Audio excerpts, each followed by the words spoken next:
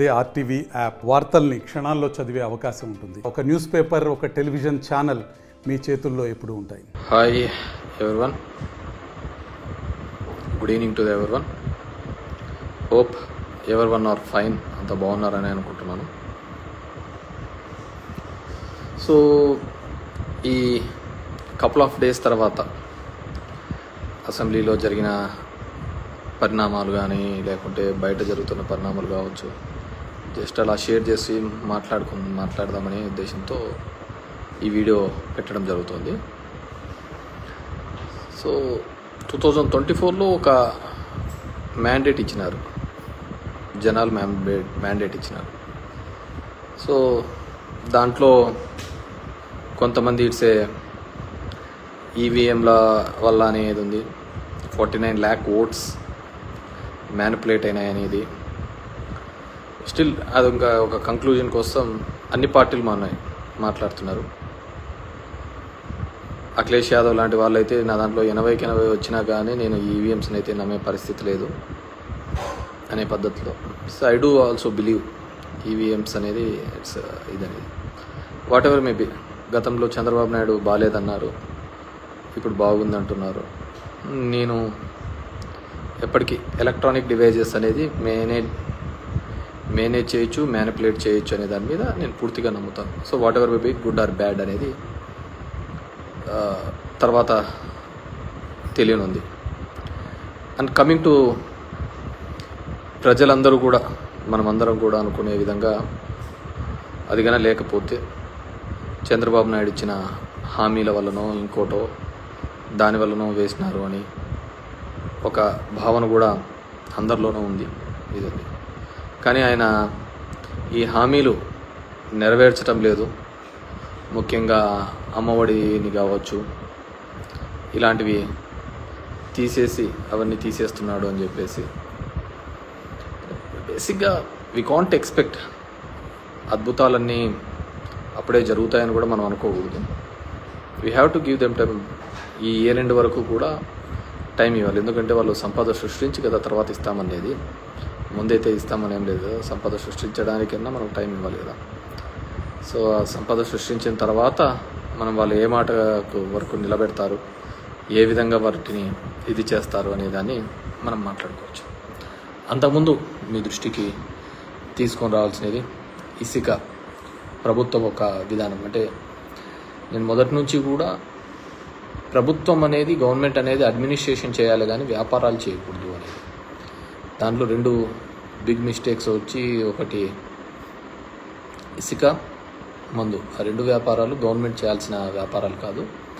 అది third party చేయాల్సిన వ్యాపారాలు మనం అడ్మినిస్ట్రేషన్ చేయడం. దానివల్లనే మొత్తం చెడంతా మూట కట్టుకున్నామనే ఒక అపవాదం ఉంది. స్టిల్ ఈ గవర్నమెంట్ కూడా అదే కంటిన్యూ చేస్తుంది. వాళ్ళు ఏదైతే మాడుస్తామన్నారో వాటిని మార్చకుండా తిరిగి అదే కంటిన్యూ చేయడం జరుగుతుంది. ఇట్స్ వాళ్ళ ఇది. ఇసుక అనేది ఉచితం అన్నారు అది ఏ విధంగా దొరుకుతుందో మనందరికీ తెలిసింది.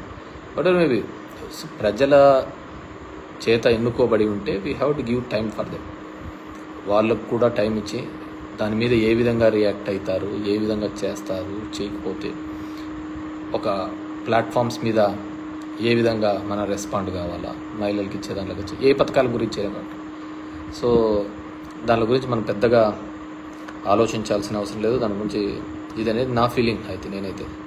ఈ ఇయర్ ఎండ్ వరకు కూడా వాళ్ళకు ఇవ్వాలి టైం ఇవ్వాలి. ఇప్పుడు రోజు మనం ఉన్నప్పుడు తెస్తూ ఉంటే అప్పులు అప్పుల వారం అని మంగళవారం అని అంటుంటే ఇప్పుడు చూస్తుంటే దగ్గర దగ్గర ముప్పై రెండు వేల కోట్లు డిఫరెంట్ డిఫరెంట్ రూపాల్లో తీసుకొని వచ్చారు. మరి అది ఎక్కడ ఖర్చు పెడుతున్నారో ఎవరు ఖర్చు పెడుతున్నారో ఎలా ఖర్చు పెడుతున్నారో కూడా తెలియటం లేదు. సో అది దాని గురించి ఒకటి. రెండోది చెత్త పన్ను. అప్పుడు వేసినప్పుడు చెత్త పన్ను వేసినందుకు చెత్త ముఖ్యమంత్రి అని కూడా మాట్లాడడం జరిగింది. చెత్త పన్ను అనేది చెత్తను కలెక్ట్ చేసుకోవడానికి ఖచ్చితంగా ప్రపంచ దేశాల్లో కావచ్చు ఏ దేశంలో కూడా శానిటేషన్ బాగుండాలి అంటే ఖచ్చితంగా ఆ చెత్తను కలెక్ట్ చేసుకోవడానికి ఎవరికో ఒకరికి అప్పచెప్పాలి లేదంటే నువ్వు తీసుకొని పోయి డంప్ యార్డ్లో వేయలేము కదా మనం అంత చెత్త తీసుకొని పోయి. సో దాని ఒక మెకానిజం ఉండాలి. సో ఆ రోజు ప్రతిపక్షంలో ఉన్నప్పుడు వాళ్ళు మాట్లాడినారు ఆ విధంగా వేయకూడదని. కానీ ఇప్పుడు మళ్ళీ వేయచ్చు. అది చెయ్యొచ్చు అనే పద్ధతిలో వాళ్ళు కూడా ఇంప్లిమెంట్ చేస్తున్నట్టు. పవన్ కళ్యాణ్ గారు కూడా అది మళ్ళీ ఎక్కడో ఇంప్లిమెంట్ చేస్తున్నట్టు నేను చూశాను. వెదర్ అది కరెక్టా తప్ప అని కూడా నాకు తెలియదు కానీ. కానీ ఖచ్చితంగా చెత్త కలెక్ట్ చేయడంలో మాత్రం నేను అప్పుడు సమర్థిస్తున్నాను ఇప్పుడు సమర్థిస్తున్నాను. అది పవన్ కళ్యాణ్ గారు అది వేసి ఉన్నా కానీ అది కరెక్టే ఎందుకు అంటే ఖచ్చితంగా నీ ఇంటి చెత్తను నువ్వు తీసుకొని పోయి డంప్ యార్డ్లో వేయలేవు. ఎవరో థర్డ్ పార్టీ తీసుకోవాలా తీసుకొని పోయి అది తడి చెత్త పొడి చెత్తగా వేరు చేయాలా దాన్ని సాగ్రిగేట్ చేసుకొని తీసుకొని పోతే దానివల్ల ఏదైనా ఉపయోగం ఉంటుంది సో దాన్ని ఆ రోజు వాళ్ళు ప్రతిపక్షంలో రాజకీయంగా వాడుకోండొచ్చు కానీ ప్రజల శ్రేయస్సు కోసం అయితే దట్స్ బెటర్ లేకుంటే మొత్తం చెత్త అంతా తీసుకొని పోయి కాలువలలో వేస్తారు ఇంటి ముందర వేస్తుంటారు దానివల్ల రోగాలు ఇవి తప్ప వేరేది ఏది రాదు. సో అది ఆ రోజు వాళ్ళకి తెలియకపోయి ఉండొచ్చు తెలిసి ఉండొచ్చు కానీ రాజకీయంగా ఏదో ఒకటి నింద అనేవి వేస్తుండ్రు ఇప్పుడు మళ్ళీ ఇంప్లిమెంట్ చేస్తున్నారని నేను అనుకుంటున్నాను. ఆ విధంగా చేస్తేనే దానివల్ల ఉపయోగం ఉంటుంది. రెండోది వచ్చి ద మెయిన్ వచ్చి రీసర్వే రీసర్వేకి అదేదో జరిగిపోతుందని వద్దని అని చంద్రబాబు నాయుడు చెప్పినారు అవన్నీ క్యాన్సిల్ చేస్తున్నాను క్యాబినెట్ అప్రూవ్ అన్నారు మళ్ళీ నిన్న చూస్తే మళ్ళీ అది కంటిన్యూ చేస్తున్నామని చెప్పడం జరుగుతుంది. రీసర్వేకి సంబంధించి నిర్మలా సీతారామన్ తన బడ్జెట్ స్పీచ్లో కూడా చెప్పడం జరిగింది. ఇవి కొన్ని రిఫార్మ్స్ తీసుకొని రాకపోతే కష్టమని పట్టణ ప్రాంతాల్లో అయితే జిఐఎస్ అని జియోగ్రఫికల్ ఇండికేషన్ సిస్టమ్ అని ఇక్కడైతే రీసర్వే అని టైటిలింగ్ యాక్ట్ అని ఇలాంటివి తీసుకొని రావాలని అప్పుడైతేనే మేము కొద్దిగా లోన్స్ ఇవ్వగలుగుతామనే పద్ధతిలో వాళ్ళు మాట్లాడడం జరిగింది. సో ఎందుకు నేను చెప్తున్నానంటే ఉదాహరణకు మా అనంతపూర్ జిల్లా లాంటి జిల్లాల్లో సర్వే నెంబర్ యాభై ఉదాహరణకు ఉంటే ఆ యాభైలో ఉండాల్సినది డెబ్బై ఎకరాల ఎక్స్టెంట్ అయితే నూట యాభై ఎకరాలకు పాస్బుక్లు ఉంటాయి. దాంట్లో ఎవడు భూమి మీద ఉన్నాడో ఎవడు బ్యాంకు లోన్ కోసం దొంగ పాస్బుక్లు పెట్టుకున్నాడో కూడా ఎవరికి తెలియదు. ఆ విధంగా మా జిల్లాలో దగ్గర దగ్గర ఇరవై ఐదు లక్షల ఎకరాలకు ల్యాండ్ కంటే ఎక్కువ పాస్బుక్స్ ఉన్నాయి. అవన్నీ ఫిల్టర్ కావాలి అవన్నీ క్లియర్ కావాలంటే ఖచ్చితంగా రీసర్వే తప్ప వేరే దారే లేదు. అది హండ్రెడ్ ఇయర్స్ బ్యాక్ మనకు ఒకసారి రీసర్వే జరిగింది బ్రిటిష్ కాలంలో. మళ్ళీ ఇప్పుడు జీ రీసర్వే జరుగుతుంది. అంటే భూమి ఎంతైతే ఉన్నామో ఫీల్డ్ లెవెల్ ఎంతైతే భూమి ఉంటుందో దాని వాటిని గుర్తించి చేయడం. కానీ పొలిటికల్గా వాడుకొని వాటిని ఆ విధంగా చేయకూడదు రీసర్వే అనేది నిలిపేస్తాము. దీనివల్ల అందరికీ ఇదని మీ భూములన్నీ జగన్మోహన్ రెడ్డి తీసేసుకుంటాడని ఒక కంప్లీట్ ఒక నెగిటివ్ ప్రచారం అయితే మొదలు పెట్టడం జరిగింది. ఏ విధంగా తీసుకుంటాడు? జగన్మోహన్ రెడ్డి పేదలకు ఇచ్చిన భూములే రిజిస్ట్రేషన్ చేసి ఇచ్చినాడు. అలాంటిది ఏ విధంగా తీసుకుంటాడు అనేది కూడా ఆలోచించలేరు అనుకుంటే డెఫినెట్గా నిజం నోరు దాటే లోద లోపల అబద్ధం ఊరంతా చుట్టేసుకొని వచ్చినట్టు జరగాల్సిన నష్టం జరిగిందనేది అందరి యొక్క భావన. కానీ రీసర్వే లాంటివి డెఫినెట్గా ఇట్స్ అ రిఫార్మ్. అలాంటివి జరిగి తీరాలి. ఎందుకంటే దానికి గవర్నమెంట్ షూరిటీగా ఉంటుంది నీ టైటిల్కి. దానివల్ల నైంటీ ఫైవ్ పర్సెంట్ సివిల్ పంచాయతీలు సివిల్ కోర్టులో డిస్ప్యూట్స్ అన్నీ తిగిపోతాయి ఫీల్డ్ మీద భూమి లేకుండా చాలా పాస్బుక్స్. ఇప్పుడు నా మా జిల్లా చూస్తే యాభై లక్షల ఎకరాలకు ఉదాహరణకు భూమి ఉంటే ఫీల్డ్ లెవెల్లో డెబ్బై ఐదు లక్షల ఎకరాలకు పాస్బుక్లు ఉన్నాయి సో అవన్నీ అవన్నీ ఫిల్టర్ ఏ విధంగా అవుతాయి. కాబట్టి వాటన్నిటినీ కూడా ఏ విధంగా చేస్తారు అని అంటే మళ్ళీ రీసర్వే ద్వారానే అవన్నీ రెక్టిఫికేషన్ అనేది కావడం జరుగుతుంది. లీగల్ డిస్ప్యూట్స్ అన్నీ పోవాలి అంటే. కానీ దానిలకు కూడా తప్పు పట్టడం జరిగింది. సో అందుకే నేను చెప్తున్నాను కదా ఏమేమి చెప్పారు ఏదేది చెప్పారు ఇవన్నిటినీ కూడా అందరము కూడా పొలిటికల్ సరే ప్రజలకు ఆవేదన ఉండి ఉంటుంది. సో నాకు అది చూస్తున్నప్పుడు ఈ ప్రస్థానం సినిమాలో సాయి కుమార్ డైలాగ్ గుర్తుకొస్తుంది. ప్రతి మనిషిని కదిలించేది ఒక ఆశ ఒక్కటే అని.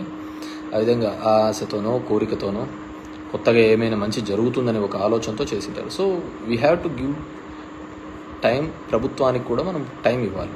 టైం ఇచ్చిన తర్వాత వాళ్ళు గన ఈ ఇయర్లో కూడా చేయలేకపోతే సరే ఒక అకాడమీ ఒక ఫైనాన్షియల్ ఇయర్ అంతా అయిపోయినా కానీ నువ్వు చేస్తూ అన్నా ఉన్న హామీలు ఏమైనాయి? సంపద సృష్టిస్తాను ఇప్పుడు అమరావతి అనేది. అమరావతి అనే దాంట్లో ఒక్కొరికి ఒక కన్ఫ్యూజన్ అనేది. కొంతమంది లోన్ అంటారు కొంతమంది గ్రాండ్ అంట గ్రాంట్ అంటారు.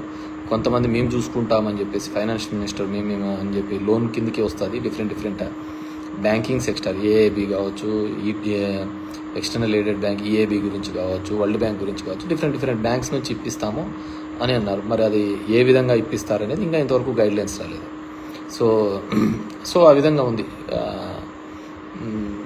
దానిల మీద కూడా క్లారిటీ లేదనమాట సో ఓవరాల్గా we have to give because మనకు చేస్తామనేది ఎటువంటి ట్యాక్సేషన్ లేకుండా కొత్తగా ట్యాక్సులు విధించకుండా పెంచిన కరెంటు ఛార్జీలు తగ్గిస్తామని పెరిగిన ఛార్జీలు తగ్గించి ఎటువంటి ట్యాక్స్ లేకుండా సంపద సృష్టించి వాటి ద్వారా పథకాలు ఇస్తామని చెప్పేసి. సో మనం రెండు నెలల్లోనే అద్భుతాలు జరుగుతాయనుకోవడం కూడా తప్పే అద్భుతాలు చేస్తారనుకోవడం కూడా తప్పే.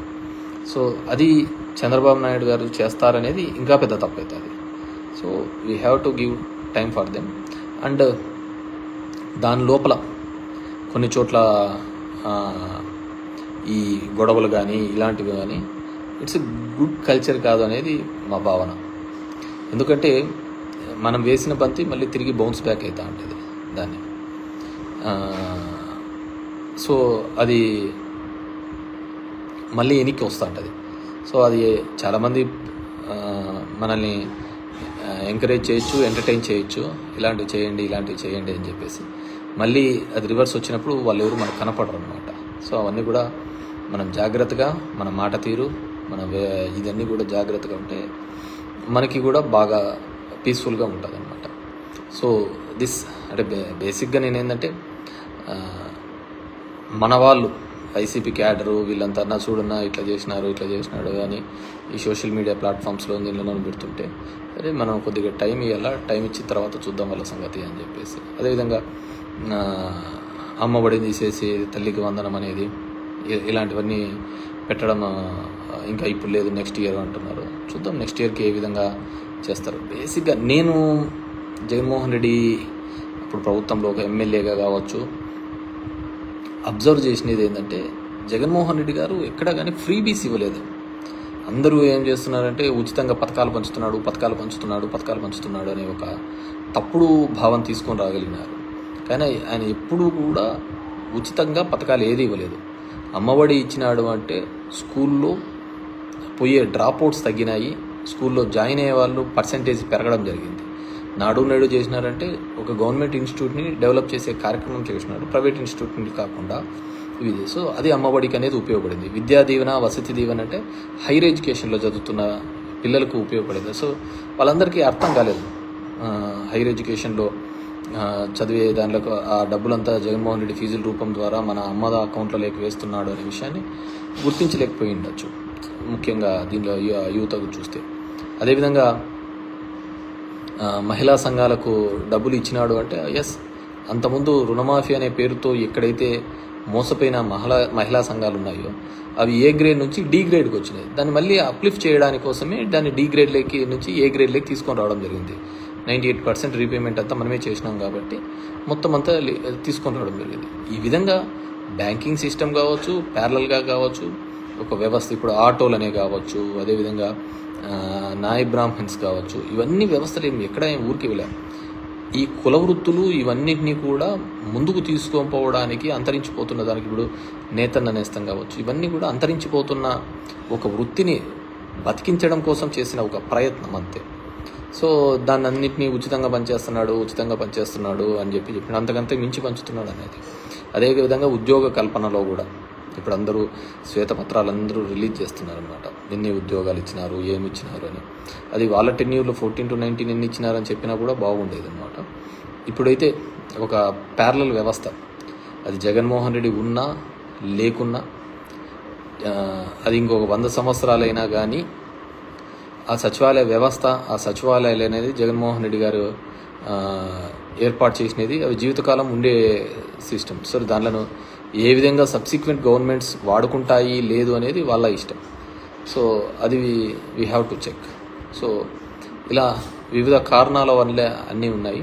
అండ్ ముఖ్యంగా ఓట్స్కి సంబంధించి నలభై తొమ్మిది లక్షల ఓట్లు కేవలం మన ఏపీలో ఆ ఫిగర్ మ్యాచ్ కాలేదు పార్లమెంట్ ఎలక్షన్స్లో అనేది కొన్ని సంస్థలు చేసుకున్న వాటి ద్వారా రావడం జరిగింది. డెబ్బై తొమ్మిది సీట్లు దేశవ్యాప్తంగా ఈ విధంగా అవకతవకలు జరిగినాయని కూడా జరగడం జరిగింది. అనమాట సో దాని మీద పూర్తిగా కూడా ఒక ఎంక్వైరీ జరగడమో లేకుంటే ఇంకో పద్ధతి ద్వారా వస్తేనే తప్ప వాటిని మనము కరెక్ట్గా చెప్పలేం. ఇప్పుడు ఎవరో చెప్తున్నారు ప్రజలు ఆశపడి మోసపోయినారట. మనిషిని బతికిచ్చేదే ఆశ. సో ఆశ పడ్డంలో తప్పు లేదు. అది నెరవేరుస్తారా లేదా అనేది తర్వాత ఇట్స్ వాళ్ళ ఇదన్నమాట. వీ హ్యావ్ టు సి పాపం ముఖ్యంగా రాయలసీమ ప్రాంతంలో అయితే వర్షాలు లేక రైతులు ఇబ్బంది పడుతున్నారు. పనులు లేక ఇబ్బంది పడుతున్నారు. చాలా ఇబ్బందికరమైన పరిస్థితులు ఉంది ఎందుకంటే కొన్ని గ్రామాలలో తాగునీళ్ళకు కూడా ఇబ్బంది కలిగే ఎందుకంటే వాటర్ టేబుల్ పడిపోతుంది. వాటర్ టేబుల్ బాగా డౌన్ఫాల్ అవుతుంది we have to see Pawan Kalyan గారికి ఇప్పుడు తీసుకున్నారు Panchayat Raj ministry. It is challenging ఆయన కూడా నేను విన్నాను. ఇక్కడ బ్లీచింగ్ పౌడర్ ఇది లేదు దీనికి ఇది లేదు అని చెప్పేసి కూడా వినడం జరిగింది. సో జగన్మోహన్ రెడ్డి గారు ఇట్లా ఎప్పుడు కారణాలు చెప్పలేదు. ఎందుకంటే నూరు కోట్లు కేవలం రెండు వేల పంతొమ్మిదిలో దిగిపోయేటప్పుడు టైం పెట్టినా కానీ బడ్జెట్లో డబ్బులు లేవు ఇవి లేవు ఇవి లేవు అని చెప్పలేదు. తన వంతుగా తన చేయాల్సినది కొన్ని రిఫార్మ్స్ తీసుకొని రావడం జరిగింది. ఇప్పుడు మెడికల్ కాలేజ్ కావచ్చు పోర్ట్స్ కావచ్చు హాస్పిటల్స్ కావచ్చు స్కూల్ ఎడ్యుకేషన్ కావచ్చు కొన్ని రిఫార్మ్స్. నేను కూడా అన్ని రిఫార్మ్స్ అంత త్వరగా ఇంజెక్ట్ జనం లేక ఇంజెక్ట్ చేయడం కూడా తప్పే నేను అనుకుంటున్నాను. వీ హ్యావ్ టు ఆ ఫ్లోలో పోతుండాలి. జనాలకి ఏది అనుకుంటారో దాని ఫ్లోలో పోతుండాలి. కానీ వాళ్ళని కొత్తగా మనం నేర్పించాలనే ఒక ప్రయత్నం చేస్తా అంటేనే పెద్ద తప్పు. దానికి బేసిక్ పెద్ద ఉదాహరణ నేనే అనమాట నాది లైవ్ ఎగ్జాంపుల్ ఎందుకు నేను అది లైవ్ ఎగ్జాంపుల్ అంటే ఇప్పుడు పబ్లిక్ రిప్రజెంటేటివ్స్ జనం దగ్గరికి పోరు. జనంతో మాట్లాడరు. వాళ్ళ దగ్గరికి వచ్చిన వాళ్ళనే కలవడం బరువుగా ఉంటుంది. అలాంటిది నేను ఒక కొత్త సిస్టమ్ని తీసుకొని వచ్చి వీళ్ళే వాళ్ళ దగ్గరికి తీసుకొని పోవడం జరిగింది. దానికి ఎన్నో నిందలు మోయడం తప్ప నాకు వేరేది ఏంది జరగలేదు. అదే మర్యాదకు నేను ఇంటికాడ కూర్చున్నా కానీ నాకు ఈ నిందలు తప్పేటివి. నా పని నేను చూసుకున్నా కానీ కానీ నేను జనం దగ్గరికి పోవడంతో నాకు నిందలు తప్ప నిందలు ఓటమి తప్ప నాకు నేను పెద్దగా మూట కట్టుకునేది అంటూ ఏమీ కనపడలేదన్నమాట. సో అపవాదులు తప్ప మూట కట్టుకునేది ఏంది లేదు. సో అట్లుంటుంది. కాబట్టి ఎప్పుడే కానీ సిస్టంలో ఏ విధంగా అలవాటు పడితే దాని ప్రకారమే పోవాలా. అదేంటి అంటే రాజకీయ నాయకులు అనేది ప్రజలకు దూరంగా ఉండాలా. ఎలక్షన్లప్పుడు కనపడాలా ఎలక్షన్లప్పుడు కనపడాలా వాళ్ళకి అబద్ధాలు చెప్పాలా అబద్ధాలకు నచ్చితే వాళ్ళకు ఇది చేస్తా అంటారు. నమ్ముకుంటే వేయరు. ఇంకా దీంట్లో మంచని చెడు అనేది అనవసరమైన విషయం.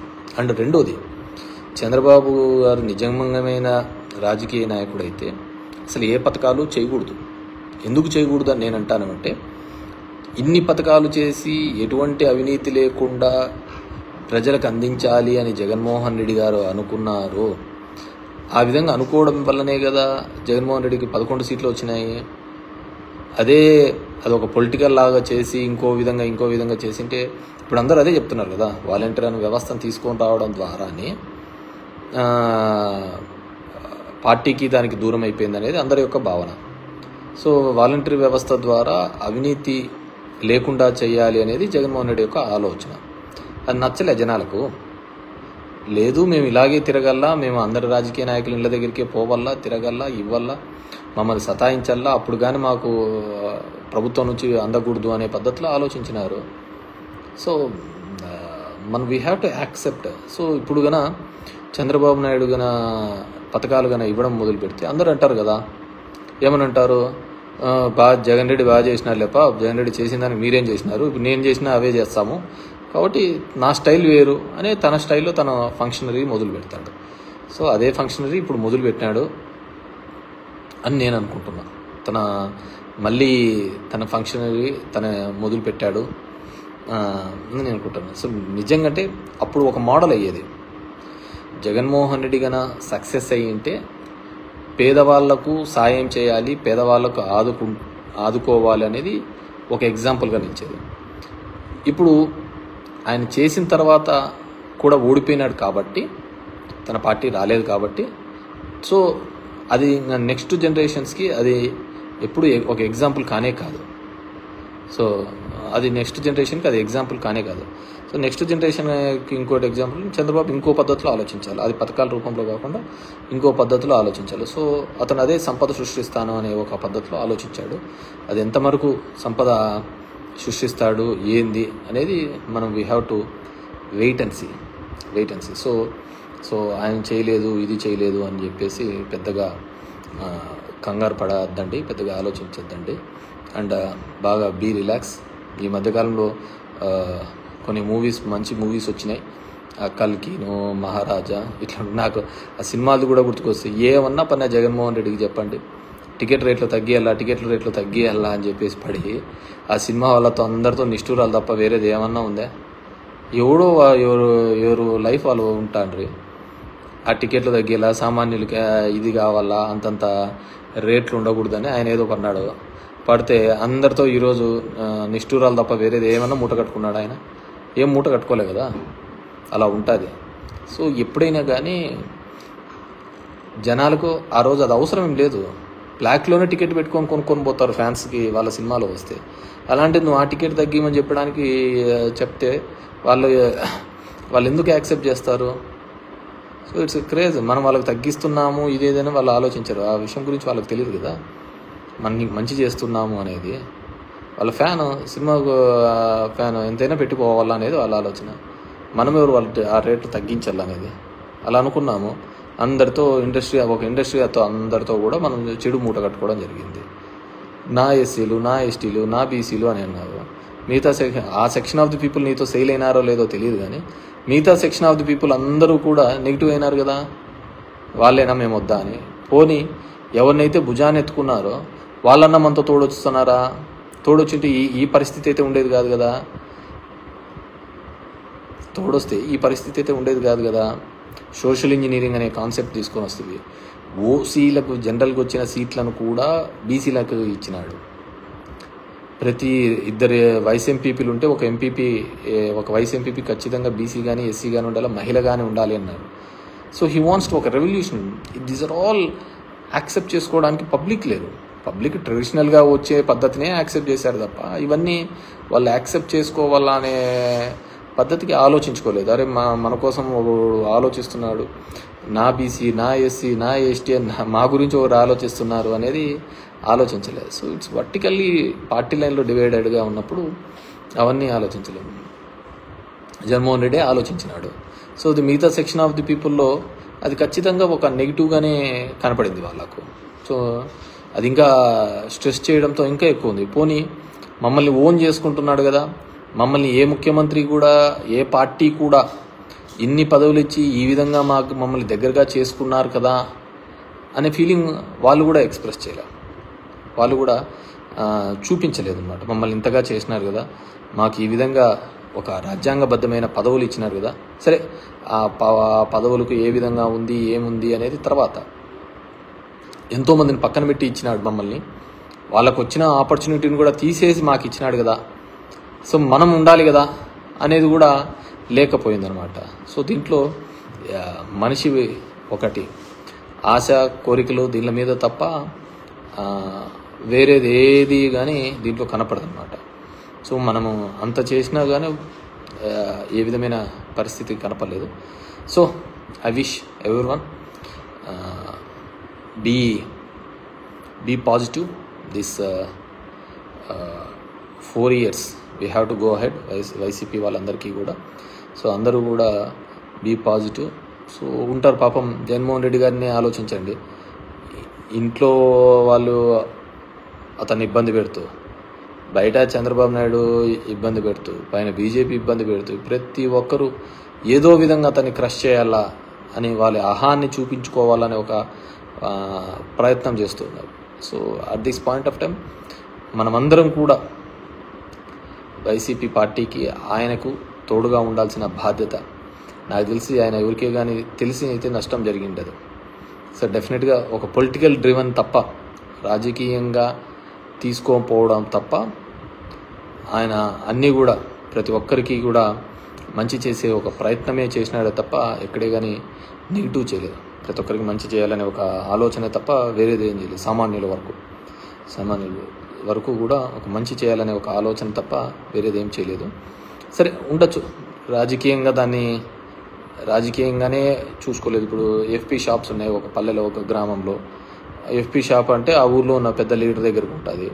అది జనాలందరూ అతని దగ్గరికి పోతుంటారు లైన్లో నిలబడుతుంటారు తెస్తుంటారు. జగన్మోహన్ రెడ్డి ఒక కొత్త పద్ధతి తీసుకొని వచ్చినాడు. ఒక వ్యాన్ పెట్టాలని అది ఇంటింటికి పోయి ఇవ్వాలని. సో అక్కడ అతను బా బాధపడినాడు. వీళ్ళకు సాటిస్ఫాక్షన్ లేదు. అలా మల్టిపుల్ రీజన్స్తో ఈ విధంగా ఉంది. So that's it for now so అందరినీ కూడా be positive and we have to అందరం కూడా జగన్మోహన్ రెడ్డి గారికి uh, తోడుగా ఉందాం అండగా ఉందాం. అతన్ని అన్ని విధాలుగా కూడా ఇబ్బంది పెట్టే ప్రయత్నాలు చేస్తూ ఉంటారు. ఎమ్మెల్యే క్యాండిడేట్స్కి రాజకీయంగా ప్రతి గ్రామంలోనూ ప్రతి ఊర్లోనూ ప్రతి వార్డులలోనూ కూడా ఇబ్బంది పెట్టాలా అనే ఒక ఆలోచన విధానంతో చూస్తుంటే ఇప్పుడు ఒక కొత్త ట్రెండ్ వస్తుందన్నమాట. మామూలుగా రాజకీయ నాయ- రాజకీయ రాజకీయ నాయకులు రాజకీయ నాయకులు కొట్లాడుకుంటా అంటారు అయిపోతుంటుంది. ఇప్పుడు అదంతా అయిపోయిన తర్వాత దానికి సంబంధించిన అధికారులను కూడా ఐఏఎస్లను వీళ్ళను అప్పుడైతే ఎవరైతే ఉన్నారో వాళ్ళను కూడా కంప్లైంట్లు పెట్టాలా కేసులు పెట్టాలనే ఒక ఆలోచన చేస్తున్నారు. So we have to wait and see నాకు అనిపిస్తా ఉంటుంది అదంతా. దేశంలోని దరిద్రాలకు అన్నిటికీ కూడా రాజకీయ నాయకులైన కారణము. దెర్ ఆర్ మెనీ సిస్టమ్స్ ఉన్నాయి కదా. వ్యవస్థలు చాలా ఉన్నాయి కదా. కానీ ఎందుకు ఒక రాజకీయ నాయకుడు మాత్రమే దీనికి వస్తాడు? అంటే ఐదేళ్ళకి ఒకసారి ఓట్లకు వస్తున్నాడని ఆ విధంగా ఉంటుంది. ఇప్పుడు if you look into the four pillars అనుకుంటే జుడిషియరీ కావచ్చు మీడియా కావచ్చు ఎగ్జిక్యూటివ్ కావచ్చు కాన్స్టిట్యూషనల్ పొలిటికల్ కావచ్చు ఏదైనా కావచ్చు. దీనిలో కేవలం ఒకటిదే తప్పు ఉందంటారా? ఐ డోంట్ థింక్ సో కింద నుంచి పబ్లిక్ దగ్గర నుంచి పై వరకు ప్రతి ఒక్కరిది ఏదో ఒక సందర్భంలో వాళ్ళ ఆశ వాళ్ళ కోరికల మీద అది కులం మీదనో మతం మీదనో అవకాశవాదం మీదనో ప్రతి ఒక్కదాని మీద ఏదో విధంగా రన్ అవుతానే ఉందన్నమాట. సో ఇవన్నిటినీ కూడా. అండ్ ఫ్యాక్షనిజం పెరుగుతుందని ఎవరో పెట్టారు పురుషోత్తం ఎస్ డెఫినెట్గా ఇవన్నీ కూడా ఫ్యాక్షనిజానికి తోడుగు అయ్యేటివే. ఒకరికొకరి మీద ఒకటికొకటి కలిసి వచ్చి ఫ్యాక్షనిజానికి ఇంకో విధంగా ఒక అన్రెస్ట్ వచ్చిందనుకో. అన్రెస్ట్ వచ్చినప్పుడు డెఫినెట్గా అందరూ రివోల్ట్ అవుతారు అందరూ రోడ్ల మీదకి వస్తారు. ఆ రోడ్ల మీదకి వచ్చినప్పుడు ఆ రివోల్ట్ వచ్చినప్పుడు డెఫినెట్గా నో వన్ కెన్ స్టాప్ అన్నమాట. ఎందుకంటే మనం చూసాం ఈ దేశంలో ఉల్లిగడ్డల రేట్లు పెరిగినప్పుడు కూడా ప్రభుత్వాలు పడిపోయిన దేశం ఉంది అనమాట కాబట్టి ప్రతి ఒక్కటి కూడా అదే విధంగానే ఉంటా ఉంటుంది. దీంట్లో మంచికి చెడుకు లేదు. కేవలం స్వార్థానికి ఆశకు కోరికలకు తప్ప దీంట్లో వేరే ప్లేస్ లేదనమాట ఎక్కడ కానీ సో దాన్ని బట్టి మనం కూడా పోతూ ఉంటే బాగుంటుంది. So I wish all the best so చాలా రోజులైంది తర్వాత కానీ ఒక ఇది అండ్ అందరికీ నేను నేను కోరుకునేది ఒకటే. Don't expect much from Chandrababu Naidu. ఏదో ఆయన చెప్పిన పథకాలని రాత్రి రాత్రికి చేసేసి అద్భుతాలు చేస్తాడు అని చెప్పేసి మనంగా అనుకోవాల్సిన అవసరం లేదు. ఎందుకు చెప్తున్నానంటే డెఫినెట్గా గతంలో అతను ఎప్పుడు చేసిన దాఖలాలు లేవు. అండ్ జగన్మోహన్ రెడ్డికి జరిగిన తర్వాత పదకొండు సీట్లు ఇచ్చిన తర్వాత ఇన్ని పథకాలు ఇంత మంచి అవినీతి లేకుండా జరిగిన తర్వాత పదకొ నూట యాభై ఒకటి నుంచి పదకొండు సీట్లు తీసుకొని వచ్చిన తర్వాత ఇంక ఏ రాజకీయ నాయకుడికైనా సరే కొద్దిగానే ఆలోచన ఉంటే అతను ఖచ్చితంగా ఇలాంటి పథకాలు ఏవే కానీ చెయ్యడు. ఎందుకంటే అన్ని చేసినా కానీ జగన్మోహన్ రెడ్డికి ఏం చేశారు అనే ఒకటే big question big question mark so కాబట్టి ఎవరే కానీ చేరు నాకు నాకున్న అంచనా ప్రకారం అయితే ఎవరు చేరు. ఏదో ఎలక్షన్లకు రెండు నెలల ముందు వస్తూ అంటారు. నీకు ఏది ఇష్టమైతే అది వచ్చే ధర్మవరానికి సముద్రం కావాలంటే తీసుకొని వస్తామంటారు ఇంకోటి కావాలంటే తీసుకొని వస్తారు అట్లా ఏదో మాటలు చెప్తా అంటారు పోతా అంటారు. సో దట్స్ పీపుల్స్ అనమాట thank you very much thank you very much మరిన్ని వీడియోస్ కోసం ఛానల్ సబ్స్క్రైబ్ చేయండి. లేటెస్ట్ అప్డేట్స్ కోసం వాట్సాప్ ఛానల్ని ఫాలో చేయండి. అండ్ లింక్ డిస్క్రిప్షన్లో ఉంది.